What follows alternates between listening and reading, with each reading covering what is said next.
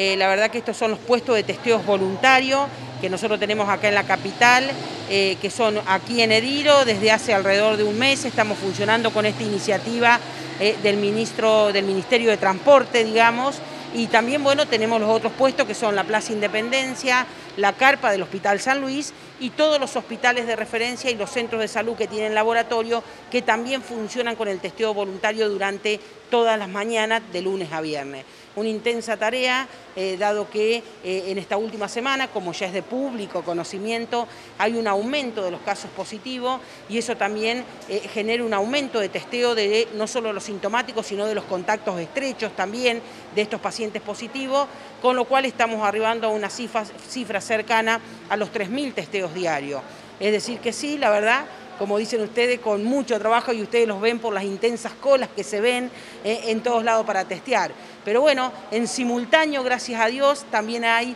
eh, está la vacuna, eh, que también la estamos colocando en, en, el Hospital San Luis, ya sea en la carpa o dentro del hospital, que gracias a Dios, bueno, a medida que la vamos recibiendo, hemos recibido 10.000 dosis y esta semana también la vamos a estar terminando de aplicar a todas. Así que bueno, esa es nuestra esperanza, la cobertura básicamente de la gente de riesgo y del adulto mayor. Nosotros hasta ahora estamos hisopando martes y jueves eh, en el horario de 14 a 17 horas y los sábados de 9 a 12.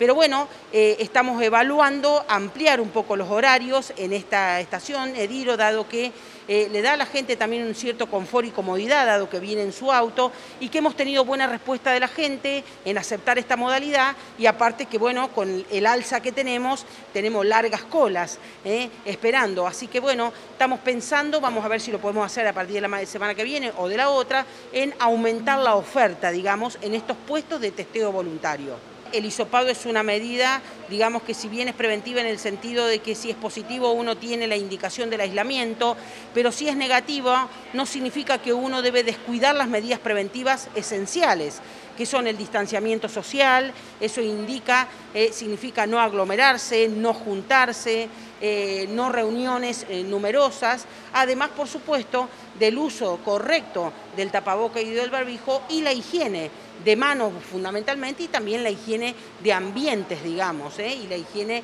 en los lugares de trabajo, que significa no compartir, por ejemplo, que a veces uno eso eso lo ve. Así que, por supuesto, las medidas de prevención, aún en los pacientes que han sido vacunados y que ya han tenido la enfermedad, no deben dejar de tenerse en cuenta, dado que esta enfermedad ya está con otras variantes también.